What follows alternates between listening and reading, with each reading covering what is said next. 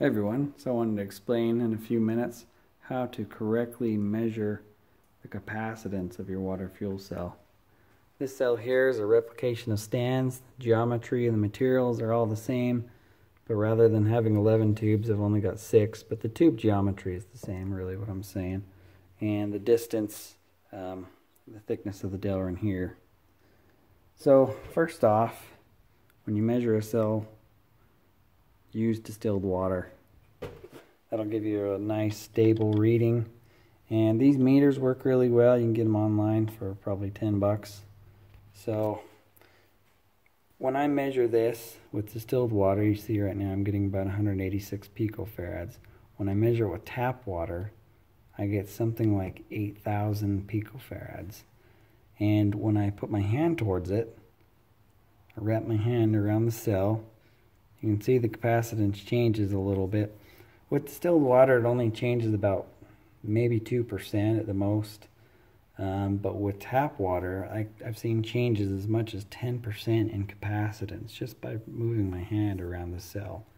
The reason why that happens is because the cell is actually capacitively coupling to my hand or to any nearby object. Capacitance will change if you put it on a different surface. You know, if I put this on a wood table or a metal table or a concrete floor, that will all change the capacitance.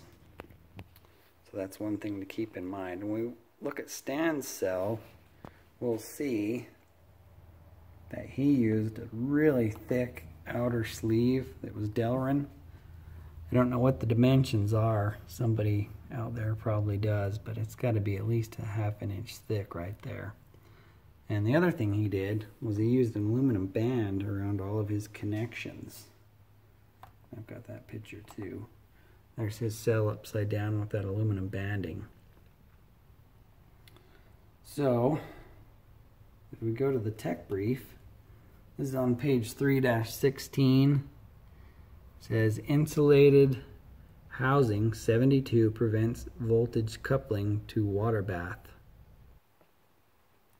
So there's the drawing you see 72 electrical insulated housing. And what he's saying is that prevents capacitive coupling of any nearby object. Gives you much more stable capacitance, uh, which allows you to maintain and achieve resonance much easier. So I believe he does also state that that is Delrin here in the tech brief. Let's see. Yeah, here we go. This is on page 3 dash um, 3 dash 10, I believe. 3 dash 11.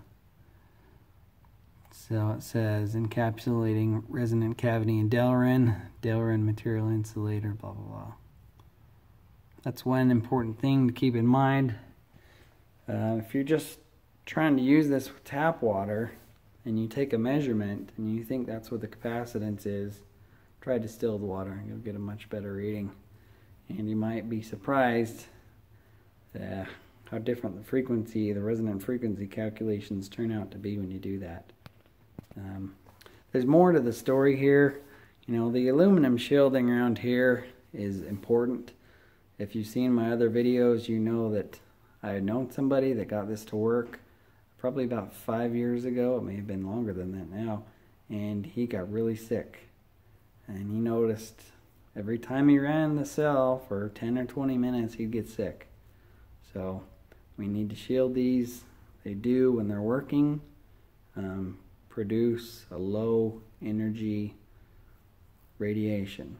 And they produce it at really high frequencies. From the math I've done we can see frequencies uh, if I remember correctly up to I think it was 5 gigahertz inside the cell and that's something we'll have to talk about later on. But yeah, possibility of high frequency, low energy radiation, and it needs to be shielded. Not only that, but the cell needs to be shielded to prevent capacitive coupling. And when we do that, we will stabilize the capacitance and make resonance easier to find and maintain. That's all I got. Thanks for watching, guys. Take care.